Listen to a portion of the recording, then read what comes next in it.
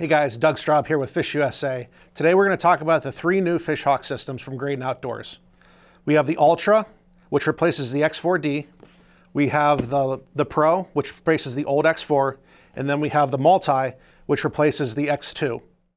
So the Ultra unit replaces the X4D. Uh, the real features and benefits of this unit, it's kind of the, the granddaddy. It's the best of the best in the Fish Hawk lineup. Uh, you can get your speed, your depth, and the depth of your ball. You can read this. It has Bluetooth capabilities, so you can read all the display through your phone. Um, other key features of this unit, and really the biggest change with all these units, and it's, it's a change with, with every single one of them, is the probe size. It's 40% smaller than the old probe.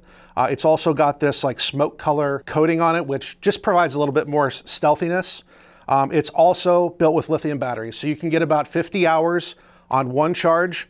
Um, and if you do uh, lose your charge, it takes about 20 minutes to get it up to speed for about just a partial charge, which will get you through the day.